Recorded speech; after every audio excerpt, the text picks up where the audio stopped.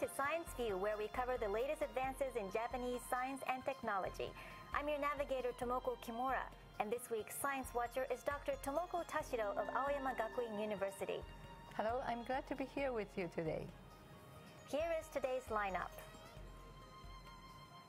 Today on The Leading Edge, we have the link between emotions and the sense of smell.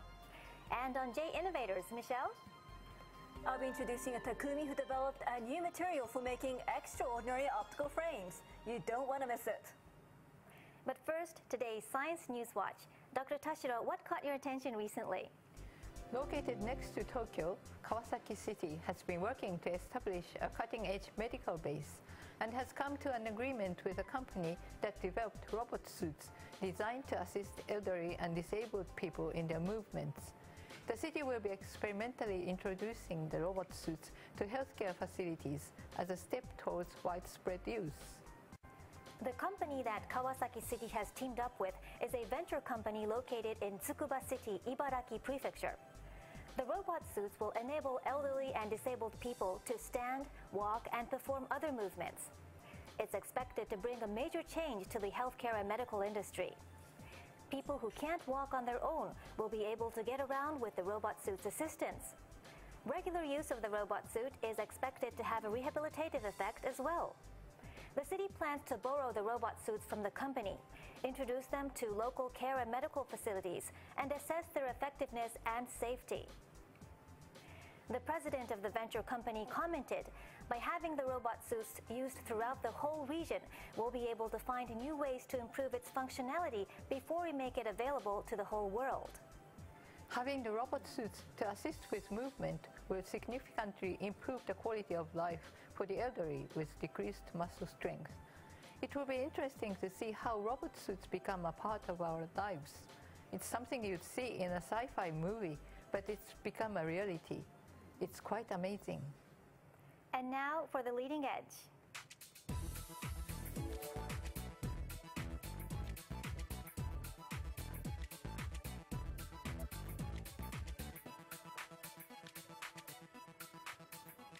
Today we have the sense of smell, which has the power to influence behavior and emotions.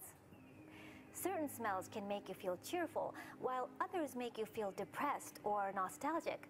Dr. Tashiro, has this ever happened to you? Yes, whenever I cut open and smell a watermelon, it takes me back to my childhood days. In summer, my younger brother and I would often sit with our feet hanging over the edge of the porch and eat watermelons together. So whenever I smell a watermelon, the memory comes vividly to me. You're right, a certain smell can bring back memories. And is it true that advances in neuroscience are uncovering what happens in the brain when a smell is detected?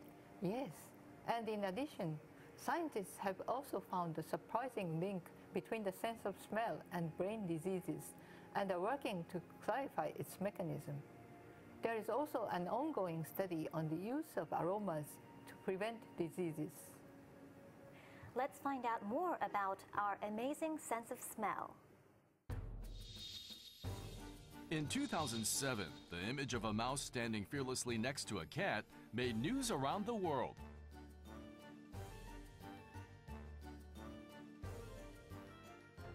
What gave the mouse its courage? This mouse was created by Japanese scientist Ko Kobayakawa of Osaka Bioscience Institute.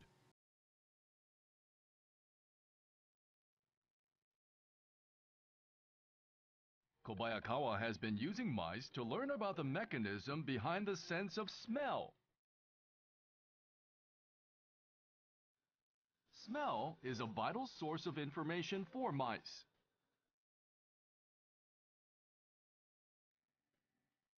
When a paper with a food scent is placed near a mouse, it sniffs the air for a bit, then moves towards the scented paper.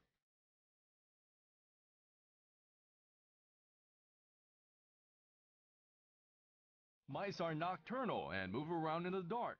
They use their sense of smell to locate food, detect danger, and gather information about their surroundings.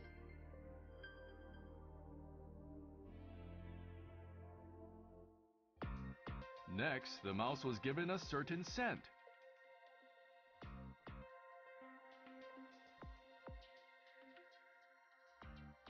After sniffing the air, the mouse turned its head away.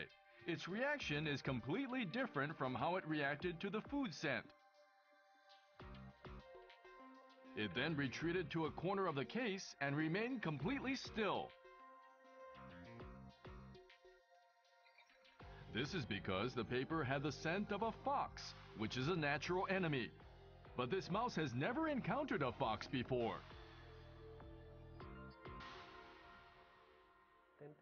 It never met its natural enemy, but it doesn't need prior experience to know that it's dangerous and feel an instinctive fear. That's why it acted the way it did. This is a mouse's smell sensing mechanism. In the back of its nose are smell sensors that catch odor molecules. When the odor molecules land, a signal is sent to a part of the brain called the olfactory bulb. The olfactory bulb's reaction pattern changes according to the odor. The brain deciphers the pattern and registers what the odor is. Olfactory bulb has two sections. One part is connected to innate responses, and another to learned responses. When the part connected to innate responses was stimulated, it caused the mouse to exhibit instinctive behavior, in this case, to freeze in its tracks.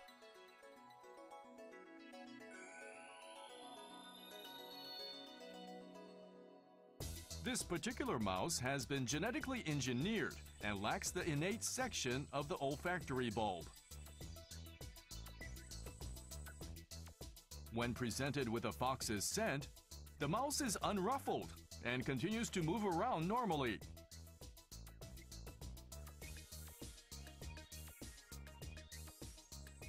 Eventually, it walks over the scented paper. The smell of its natural enemy doesn't seem to bother it a bit.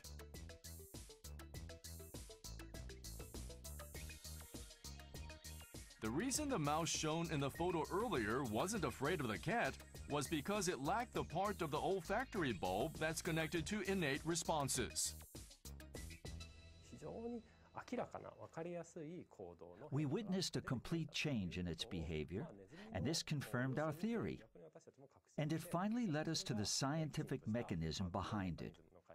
By continuing these studies, I'm hoping that it will provide us with clues about what kind of actions we take or what kind of emotions we feel when we smell something. I didn't know that mice were born with smells that they dislike. The knowledge of dangerous smells is genetically passed on. It's similar to how humans dislike rotten smells. This reaction is believed to stem from the instinctive knowledge that rotten food is dangerous. Another study reveals how the sense of smell is closely connected to memory. Let's take a look. Dr. Mitsuo Tonoike collaborated with Tokyo Denki University on a study of the brain's activity when an odor is detected. A mask was placed over the test subject's nose, and he was given different odors to smell. They used a functional magnetic resonance imaging device, also known as an fMRI, for their study.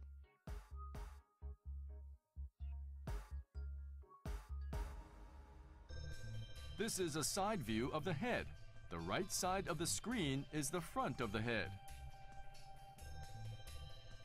The part in the circle caught Tonoike's eye. This part of the brain is called the hippocampus. It's said to be involved in memory. He experimented with other smells and found that the hippocampus reacted each time. A large-scale study on the sense of smell was held at the Rush Alzheimer's Disease Center at Rush University, Chicago, USA. 589 people participated in the study, which was to determine the connection between the sense of smell and cognitive impairment.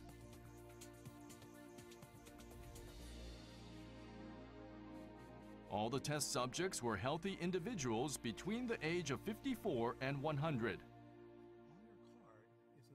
Papers like this were used in the test. When the sticker was scraped, it released an odor. The test subjects were asked to identify what the smell was. A. Grass. B. Pizza. The sheet listed four possible answers. The options were smells that most Americans are familiar with, such as grass, pizza, motor oil, and pineapple. Tell me what you smell. One. Grass. Two. Pizza. Three. Motor oil. Four. Pineapple.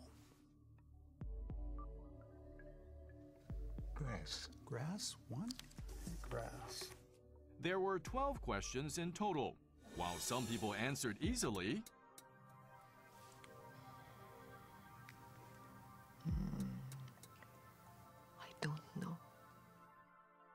some people could not identify what should have been familiar smells to them. The study went on for five years. The results show that compared to the people who got 11 out of 12 answers right, the people who only got 8 answers right had a 1.5 times higher risk of developing mild cognitive impairment, which is a precursor to Alzheimer's disease.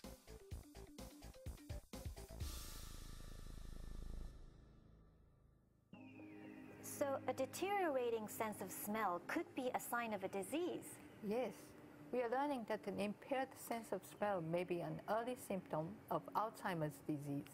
But couldn't it also be caused by old age? Perhaps. What's interesting is that young people with Alzheimer's disease also had olfactory problems before developing the disease. Could you tell us more about it? Of course.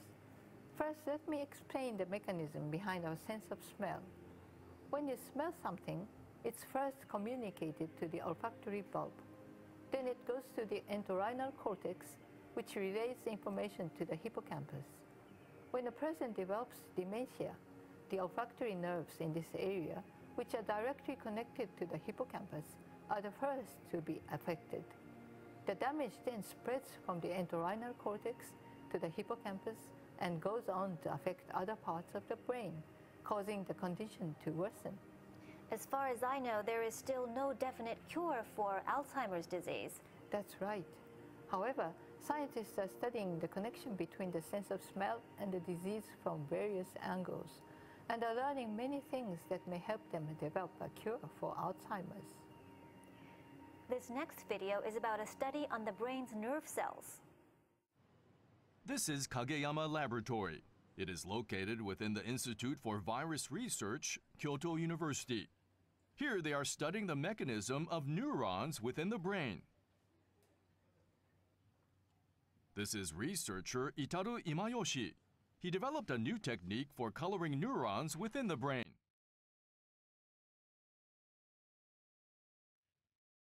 For many years, it was believed that a fully matured brain could not produce new neurons.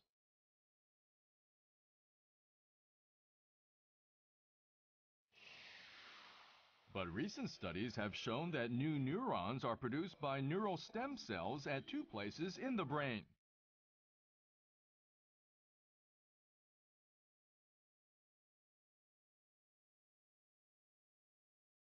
The two places are the olfactory bulb and the hippocampus, which are both involved in the sense of smell. This is a cross-section of an olfactory bulb. Imayoshi gave the newly generated neurons a blue color and observed its development. He found that the blue areas increased over time.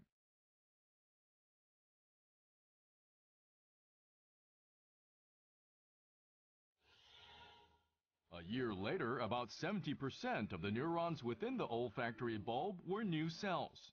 It became clear that they were being frequently replaced.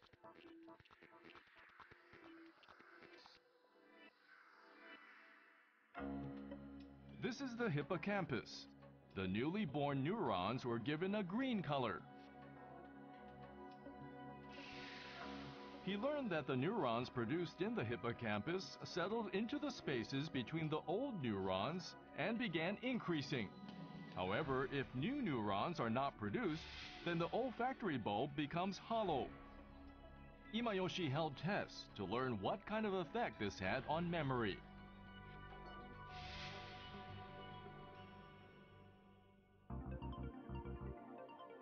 This is how the test works. A round disc with 12 holes is prepared. A basket is placed under one hole.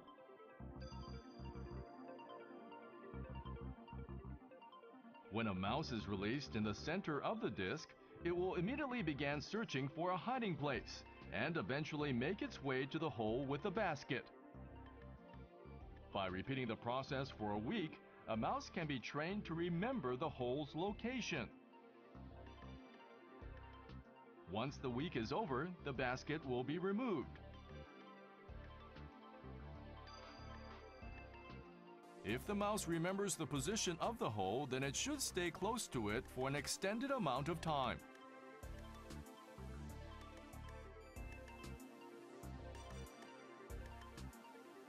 On the left is an ordinary mouse. On the right is a mouse that is incapable of producing new neurons.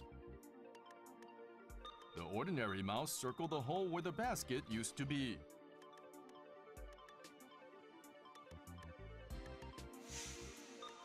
Meanwhile, the mouse that is incapable of producing new neurons wandered between the different holes. Over the course of three minutes, the ordinary mouse stayed near the former basket hole for an average of 50 seconds, while the disabled mouse stayed for an average of 20 seconds.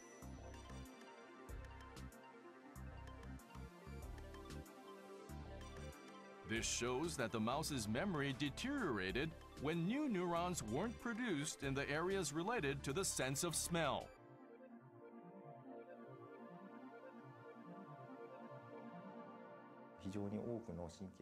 Because a large amount of neurons are replaced in the olfactory bulb, I believe that they affect the olfactory bulb's various functions, such as uh, emotional control.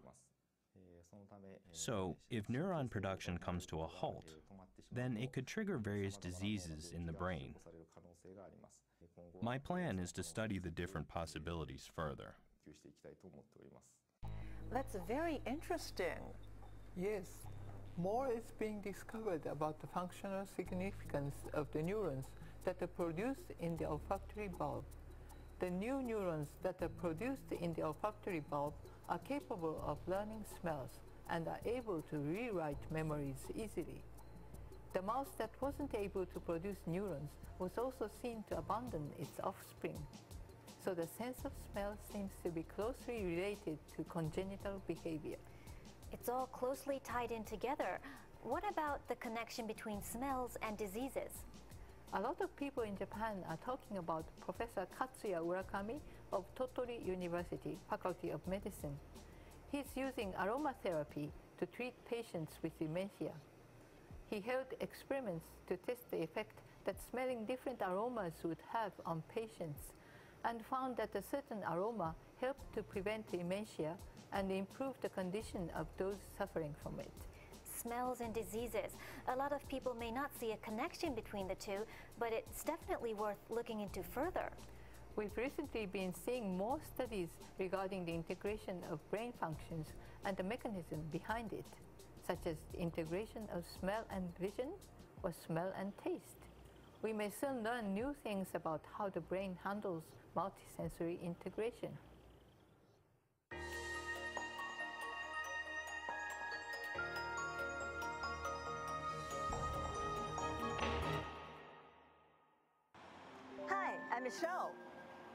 These glasses. The delicate design is beautiful, don't you think? And it's also very light. But that's not all. Today's Takumi innovator created a special frame that retains its shape even when it's bent. Let's go and take a look. This is Sabae City, Fukui Prefecture. The city is known as a major production center for eyeglasses. Of the working population, one out of six people are in the glasses manufacturing industry. I visited an eyeglasses manufacturer. Here they do everything from producing the parts to assembling the pieces.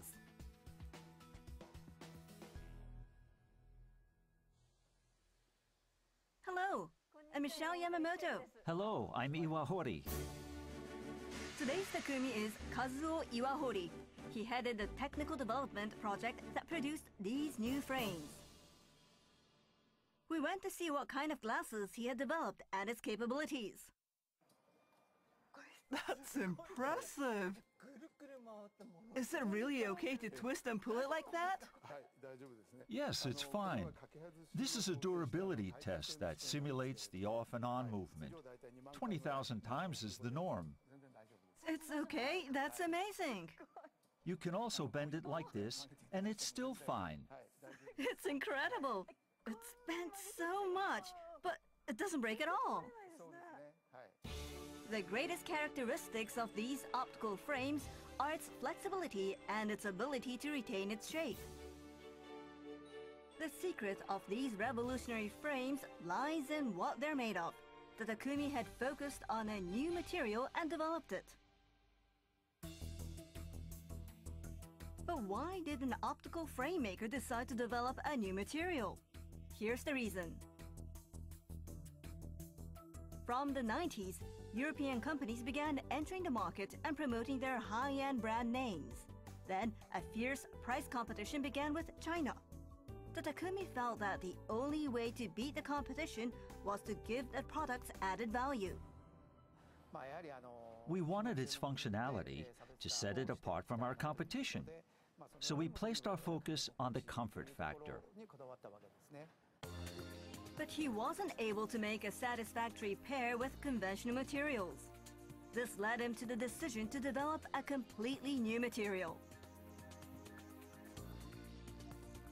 The goal was to create a super elastic titanium alloy. The Takumi and his team collaborated on a joint research project with Tohoku University's Institute for Materials Research. They evaluated various element combinations and compounding ratios and ultimately created over 200 types. The final product was a combination of titanium, zirconium, niobium, and aluminum. The compounding ratio is a company secret. They also avoided using nickel because it can cause metal allergy. This one is made out of the titanium alloy that we developed. This one is pure titanium. Let's try bending them. The pure titanium rod remains bent, but the newly developed super elastic titanium alloy goes back to its original shape. Although he now had a new material, there was another obstacle that needed to be overcome. When we combine the parts with the brazing method that is used for conventional glasses, Whoa! Could you try bending this? Sure. Put more power into it. Really? Are you sure it's all right? Now you can let go. It stays bent. When it is brazed, the area within a 2 millimeter radius is affected by the heat. The heat changed the super elastic titanium alloy's structure and caused it to lose flexibility. A new welding method was needed to keep the elastic quality of a titanium alloy intact. The Takumi set his sights on a new laser welding method that was developed around the same time. I can see a lot of bright sparks, but what's going on here? This is a magnified view.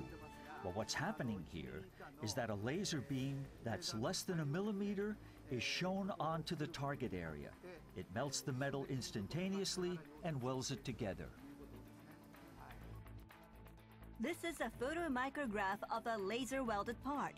As you can see, the welded part is very narrow. The laser welding method keeps the heat from spreading and allows the material to retain its character. The Takumi also developed a tool for securing the pieces to get a more accurate weld and work to enhance the quality. It's been about 10 years since the development project began. Glasses that were created with new cutting-edge techniques were introduced to the world. Okay, so let's try it on. Hmm, it's very light and very comfortable. It's really easy to wear. We asked him what he focused on the most in developing these glasses. It was to find the best way to combine our techniques and extensive experience to create a product that would please our clients. And at the same time, to find the right elements that would help us remain competitive and come out as a leader in our industry. Here are the glasses. Tomoko, why don't you try bending them? Can I? Sure. Okay. I'm afraid I'm gonna break them, you know. but you're right. It's okay. And it goes right back. They're very flexible. I happen to be wearing a pair of the Takumi's glasses myself. I've owned them for about a year. They are so comfortable that I often forget that I'm wearing glasses. The Takumi's company is using its strength of creating a complete product from scratch to enter a new market, medical care. This is a pair of medical grade tweezers that the Takumi developed. Please try holding them. It's light and easy to hold.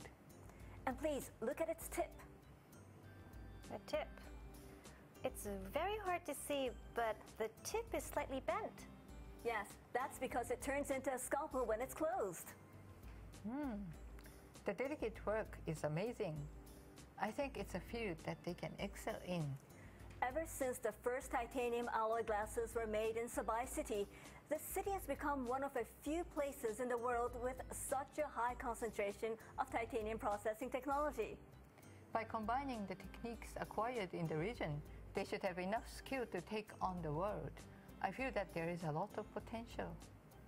Thank you very much, Michelle. Dr. Tashiro, how would you wrap up today's program? Today, I rediscovered how mysterious and functional our sense of smell is. I think it brings us more information than we give it credit for. And that's all for Science View. See you next time.